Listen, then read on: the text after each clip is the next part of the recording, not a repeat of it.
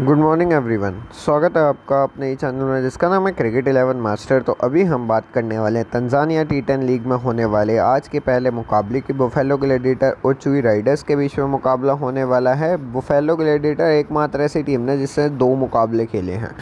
और अपने दोनों के दोनों जीत कर आई है। चुई राइडर्स की अगर आप बात करो तो दूसरे पायदान पर है। ये तीसरे पायदान पर है वैसे रन रेट के हिसाब से। वैसे इनके पास पॉइंट्स दो वही हैं कि एक मुकाबला ये भी हारे हैं।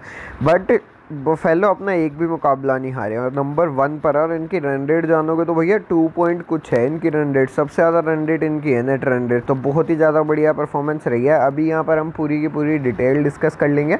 अपडेट आपको टेलीग्राम पर देखने को मिल जाएगा। टेलीग्राम का लिंक आपको नीचे डिस्क्रिप्शन में मिल जाएगा। उससे पहले ये ऐप कौन सी है? ये है माई टीम इलेवन ऐप इसका लिंक भी आपको नीचे डिस्क्रिप्शन में मिल जाएगा। एक्सपर्ट इलेवन डालोगे।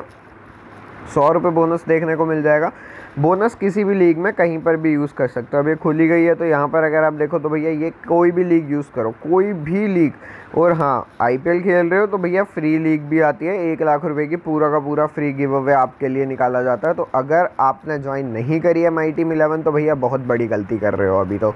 अभी यहाँ पर अगर हम देखें, आपके पास प्लेयर्स कौन कौन से हैं जिनको, जिनके ऊपर आपको फोकस करना चाहिए? वो फैलो ग्लेडिएटर और चूई रेडेस के बीच में मुकाबला होने वाला है। ग्यारहवा मुकाबला टूर्नामेंट का।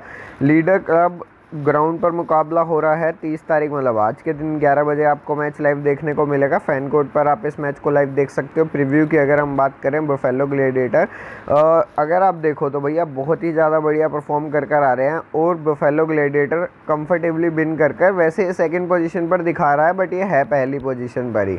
ऑफिशियल जो इनकी वेबसाइट है, वहाँ पर ये भैया पहली पोजिशन पर है। इनकी रनरेट बफेलो ग्लेडिएटर की इतनी ज़्यादा बढ़िया है। चुई की अगर हम बात करें चुई की परफॉर्मेंस ठीक ठाक है। है, आप आराम से ट्राई कर सकते हो चुई के बैट्समैन क्योंकि चुई के कुछ बैट्समैन बहुत ही ज़्यादा बढ़िया परफॉर्म कर रहे हैं। पिच रिपोर्ट की अगर हम बात करें तो आर्टिफिशियल पिच है इसमें ज़्यादा कुछ होता है नहीं चेंजेस वेंजेस होते नहीं है पिच में तो ये मानकर चलोगे भैया, अपने आप सेम विकेट है स्लो विकेट भी नहीं है स्लो डाउन भी नहीं होती है विकेट सही बताऊँ तो कि क्या ही स्लो डाउन होगी भाई? वो कपड़े की विकेट है। क्या हो जाएगा उसमें से? स्लो डाउन क्या कर लोगे आप? स्लो डाउन करके चलो। अगर हम देखें कि जो दूसरी पिचेज़ होती हैं सॉइल की पिचेज़ होती हैं, काली सॉइल हो गई, फिर रेड सॉइल वाली पिच हो गई, काली सॉइल वाली बाउंस देती है। रेड सॉइल वाली भैया आपको एक्स्ट्रा स्पिन देती है। तो यहाँ पर तो ऐसा कुछ होता ही नहीं है। यहाँ, ये तो मतलब वो है कपड़ा है भैया कपड़ा बिछा रखा है, उसके ऊपर क्या ही चेंज हो जाएगा, कुछ भी नहीं हो जाएगा। हाँ कभी मॉइस्चर होगा तो वो अगर मॉइस्चर हट जाता है तो हाँ वो थोड़ी सी ज़्यादा फास्ट हो जाएगी बॉलिंग इसके अलावा कुछ भी नहीं है। हाँ अगर यहाँ पर बारिश होती है तो ये मानकर चलना कि वो मॉइस्चर आ जाएगा उसके ऊपर पिच के ऊपर, कपड़े के ऊपर मॉइस्चर आ जाएगा, और वो गेम स्लो होने लग पड़ेगी। तो वो चीज़ देख कर चलना, अपने दोनों मुकाबले बैक टू बैक दोनों मुकाबले चुई जीत कर आई है जफ़र खान 69 रन के साथ एक विकेट 63 रन। उसके बाद अगर आप देखो प्रेम जी ने दो रन की पारी खेली है। जतिन प्रताप सिंह, बत्तीस रन के साथ एक विकेट आठ रन आठ रन के साथ एक विकेट उसके बाद अगर आप देखो तो भैया सालुम जुम्बे आपके पास है। छत्तीस, एक रन के साथ एक विकेट ज़ीरो रन के साथ एक विकेट उसके बाद अमित रघुवंशी आपके पास है छः बीस और आठ। इतने ही प्लेयर्स की बैटिंग आ रही है, देखा जाए तो भैया, इतने ही प्लेयर्स सब कुछ करके चले जा रहे हैं। नीचे वाले प्लेयर्स की बैटिंग ही नहीं आ रही है। के सालूम ने भैया पिछले मुकाबले में दो विकेट चटकाई है। परफॉर्मेंस के सालूम की बढ़िया रही है। आराम से के सालूम को ट्राई कर सकते हो, कोई भी दिक्कत है नहीं। के सालूम ना आपको डेथ में आकर बॉलिंग करवा कर देने वाला है। पिछले मुकाबले में भी उसने वही करा। सालूम जुम्बे स्टार्टिंग और डेथ में आकर बॉलिंग करवा रहा है। जतिन प्रताप दो ओवर में एक विकेट ज़फ़र दो ओवर में एक भी विकेट नहीं। फिर उसके बाद यहाँ पर टी रशीदी दो ओवर में इसने भी एक भी विकेट नहीं चटकाई है। स्टार्टिंग में आकर बॉलिंग करवाई है। परफॉर्मेंस टी रशीदी की बहुत ज़्यादा बढ़िया रही है। बफेलो ग्लैडिएटर की अगर हम बात करें बैक टू बैक अपने दोनों मुकाबले जीत कर आए, बहुत ही ज़्यादा बढ़िया परफॉर्मेंस रही है। कैलविन मापुंदा आपके पास है? कैलविन मापुंदा पंद्रह रन और तेईस रन की पारी। बैक टू बैक बढ़िया परफॉर्म कर कर देकर गया पहले मुकाबले में ओपन नहीं कराया गया था, दूसरे मुकाबले में ओपन करवाया गया, तब भी उसकी परफॉर्मेंस बिल्कुल भी चेंज नहीं हुई। निसार अहमद आपके पास है, बयालीस रन के साथ दो विकेट सात रन के साथ एक विकेट उसके बाद अगर आप देखो तो भैया, कसुम नसूरी आपके पास है, पाँच रन के साथ एक विकेट तैंतीस रन के साथ दो विकेट एली मपेका आपके पास है, पंद्रह रन के साथ एक विकेट सोलह रन के साथ एक विकेट फिर उसके बाद सोफी खलीफिया आपके पास है। अट्ठाईस रन के साथ एक विकेट और दो रन के साथ एक विकेट इनके भी इतने ही प्लेयर्स हैं मतलब ये पाँच छः प्लेयर जो है ना, इतने ही प्लेयर्स हैं सब सब कुछ कर कर जा रहे हैं। राज बिन्ना ना बैक टू बैक दोनों मुकाबलों में विकेट चटकाई है बट मेन प्रॉब्लम क्या आ जाता है? राज बिन्ना के साथ देखो इसने एक ही ओवर करवाया है यहाँ पर। क्योंकि एक ओवर जो इसका था, वो सैफू को दिया गया और सैफू ने अभी विकेट चटकाई तो अब ये कन्फ्यूज़ हो जाएँगे कि भैया किसे ओवर दे, किसे नहीं। तो राज बिन्ना को रखना, नहीं रखना आपके ऊपर है, वैसे बढ़िया कर सकता है, हो सकता है टीम दो भी ओवर दे दे, और अगर दो ओवर दे दिए तो मानकर चलना कि भैया एक विकेट तो पक्का ही है इसके खाते में। अब यहाँ पर अगर आप देखोगे तो आपके पास एली मपे का एक विकेट इसने झटकाई है स्टार्टिंग में डेथ में आकर बॉलिंग करवाई है, फिर उसके बाद नसूरू आपके पास है, दो विकेट इसने झटकाई है डेथ में आकर बॉलिंग करवाई है निसार अहमद। एक विकेट इसने और यहाँ पर खलीफा ने एक विकेट चटकाई है। खलीफा की परफॉर्मेंस बढ़िया रही थी, सैफू खलीफा की पिछले मुकाबले में एक ही ओवर इसने करवाया। वैसे अगर आप देखोगे, एक एक ओवर ही करवा रहा है ये प्लेयर बट आपको विकेट ला कर दे रहा है तो एक ना बढ़िया प्लेयर है। बट अली मपेका मपेका की अगर आप बात करोगे तो ये प्लेयर दो ओवर करवा रहा है। किसुम नसूरी की वाइस कैप्टनसी बहुत ज़्यादा है, आप भी ट्राई कर सकते हो। मेरे हिसाब से ज़्यादा बढ़िया जो रहेगा ना वो भैया मपे मपेका को अगर आप देते हो, या तो निसार अहमद को देते हो तो ज़्यादा सेफ़ रहने वाला है। तो वो चीज़ आप ध्यान में रखना वाइस कैप्टनसी के ऑप्शन बहुत ज़्यादा हैं तो वो चीज़ आपको ध्यान में रखनी है। अभी यहाँ पर हम टीम प्लस प्लेयर्स डिस्कस कर लेते हैं कौन से प्लेयर्स हमारे लिए बढ़िया हैं, कौन से नहीं। अपडेट आपको टेलीग्राम पर देखने को मिल जाएगा।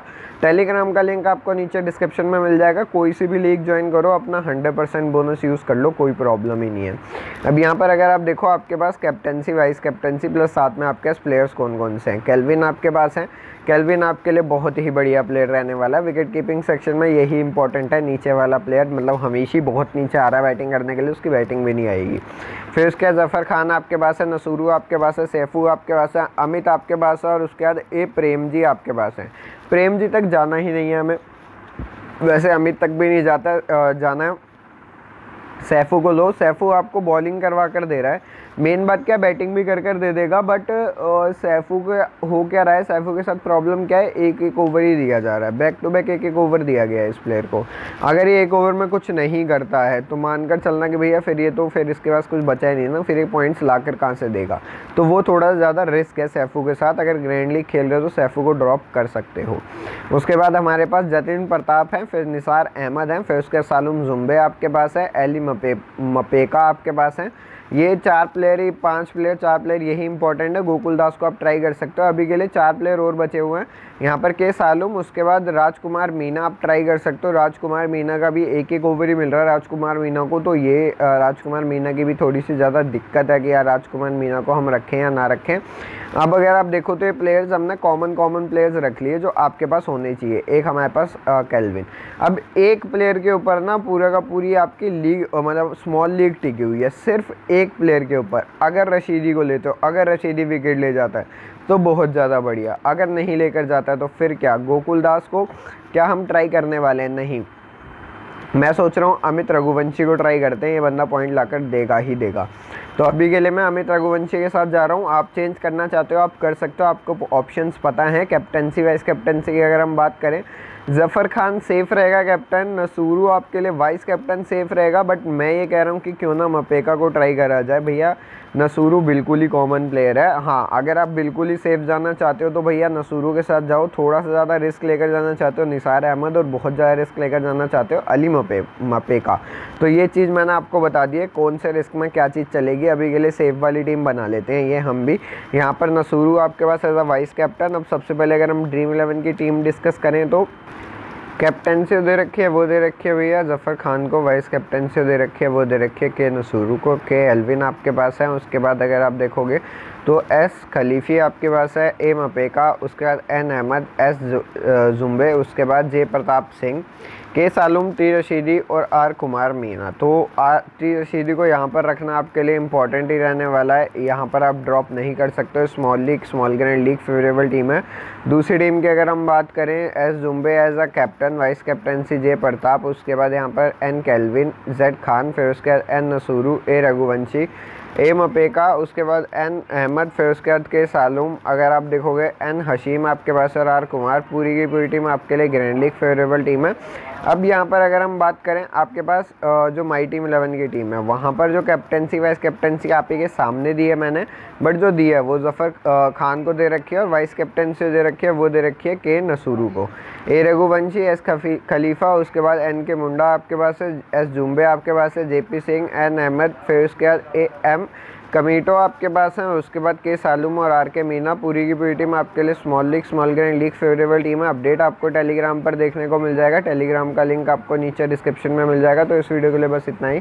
चैनल सब्सक्राइब कर लीजिएगा वीडियो लाइक कर दीजिएगा बेलाइकन दबा दीजिए क्योंकि ऐसी वीडियोज़ और भी आती रहेंगे आपके लिए इस चैनल पर।